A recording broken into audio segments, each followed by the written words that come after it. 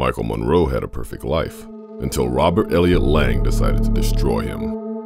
Michael had it all a fulfilling career, loving family, beautiful home, even a thrilling affair on the side.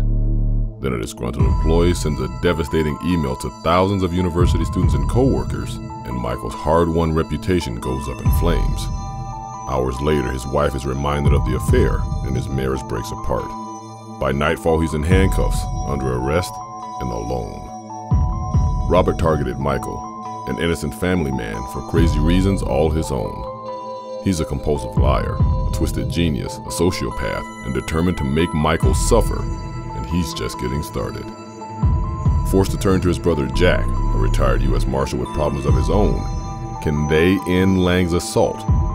How many will die before the wolf among sheep can be stopped, if he can be stopped at all? Wolves Among Sheep, available now.